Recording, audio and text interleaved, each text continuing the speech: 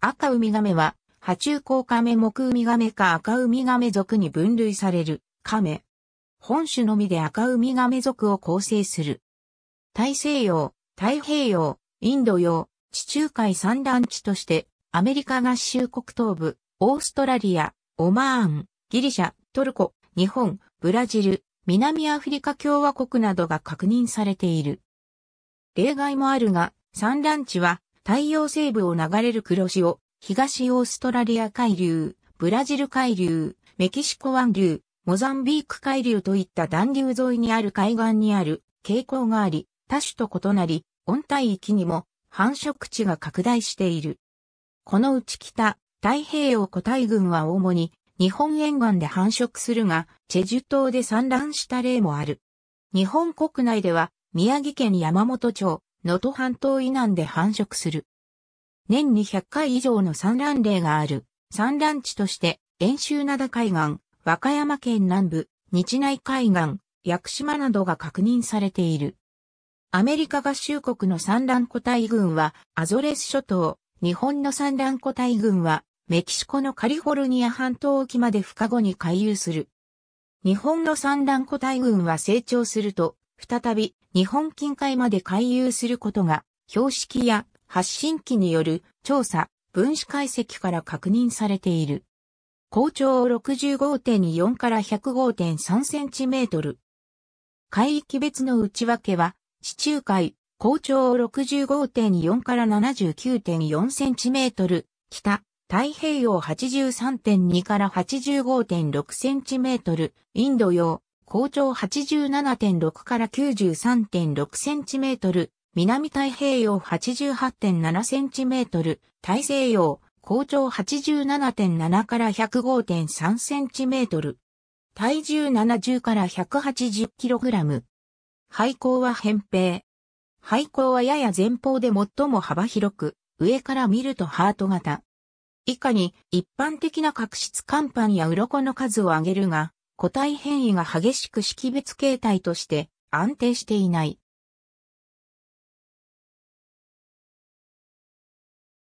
高乾板と第一、あばら乾板は接する。あばら乾板は左右に5枚ずつだが、4枚ずつの個体や左右、非対称もいる。背高には3つずつ筋状の盛り上がりがあるが、成長に伴い消失する。廃校の色彩は、赤褐色や褐色。火炎乾板は、左右に3枚ずつで、昇降はない。復興の色彩は、炭鉱色。頭部は大型。英名、ラガーヘッドは、バカで回答、バカ頭の胃。全額板は、左右に2枚ずつで、その間に、鱗がある個体もいる。目、後板は3枚。下顎大鱗は複数に分かれる。前肢は同型種と比較すると短く、爪が2本。孵化直後の幼体は全身が黒褐色。オスの生体は前肢の爪が針状に湾曲し、尾が長い。1994年に発表された種内のミトコンドリア DNA の分子系統解析では、産卵地が同じであるにもかかわらず複数の系統が含まれる産卵地が全く異なる系統が単系統群を構成するという結果が得られている。このため、希望峰やマゼライ海峡を経由して太陽間で交流があると推定されている。孵化直後の陽体温帯から亜熱帯にかけての海洋に生息する。陸上では前肢と後足を交互に動かして移動する。食性は動物食傾向の強い雑食で貝類、甲殻類などを食べる。胃の内容物調査では、袖貝貝などの腹側綱、大シャコ貝などの二枚貝綱、高イカ類などの等足綱、エボシ貝やクラゲの実類、十脚目などの甲殻類、タコの枕などの極秘動物、海面動物、魚類、カツオのエボシ、動詞の幼体、ホンダワラなどの海藻、アマモなどの海藻が発見された例がある。全種を使って海底の砂泥を舞い上げ、出てきた獲物を捕食する。水深の深い環境では浮遊性の食物、沿岸部では低性の無脊椎動物を食べていると考えられている。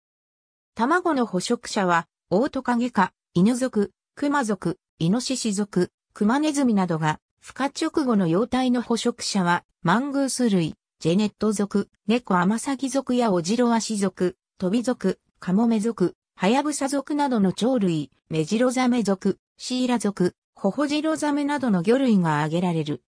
卵及び、孵化直後の幼体の捕食者としては、アリやカニカラス族、キツネ族、アライグマなどが挙げられる。繁殖様式は卵生。アメリカ合衆国や日本では5の8月にかけて、海岸の草原や砂浜との境界周辺に直径20センチメートル、深さ60センチメートルの穴を掘り、その中に1回に70から150個の卵を落としに1から5回に分けて産む。産卵層はまず前足で姿勢安定用に比較的くぼみを掘り、砂を数回かき出しただけで後足で産卵用の深い穴を掘ることもある。主に各年繁殖するが、毎年繁殖する個体もいる。卵は50から80日で孵化する。孵化した幼体は、砂の表面温度が低下したことで夜間になったことを察知し、地表に現れ海中へ入る。生後13から47年で成熟する。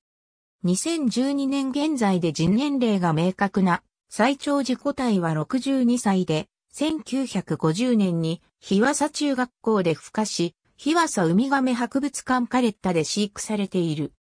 護岸工事などによる産卵地の破壊、漁業による混濁、海洋汚染、卵も含めた食用の狩猟、採集などにより生息数は減少している。40カ国の創業データと13のオブサーバーによる監視プログラムでは2000年には世界全体で約20万頭が混獲されたと推定されている。アメリカ合衆国では海岸周辺に人間が住むようになり、その残飯によって増加したアライグマによる卵や幼体の捕食が問題となっている。金属製の囲いによる防除がされているが、抜本的な対処ではないこと、産卵層の位置を知らせてしまうこと、材質によっては時期による定位能力の拡乱が懸念されている。